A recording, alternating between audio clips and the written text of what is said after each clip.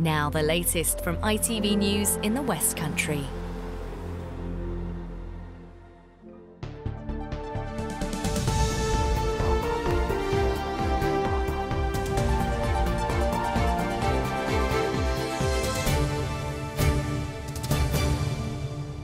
Let's get the weather now, Charlie.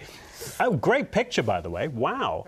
Thank you very much. Yeah, well, it's an antique of its own, I suppose. the sun, isn't it? Really. well, yeah. Um, and uh, you know, and that's what's been giving us some incredible Northern Lights photos uh, online on social media the last uh, couple of uh, last couple of days. So it's all to do with something called space weather. The sun emits loads of energy towards the Earth, and it interacts with our magnetic field, and it can affect satellites and navigation systems, GPS, that sort of thing. And depending on how active it is, it can reach us in as little as eight and a half minutes. But of course, we know it more likely as the Northern Lights. And as we head through the course of tonight, this is the forecasting. You can see it doesn't extend that far south. Doesn't mean we won't see it as far south, but I think compared to last night, it may not be quite as clear, it may not be quite as good, but it's still worth heading out if you have the right equipment because you can see pictures like this. Josh up on the Mendips uh, taking this incredible picture. Okay, it needs a lot of long exposure. You need to let your equipment get accustomed to that, but you can see the gorgeous reds and corals in the sky above.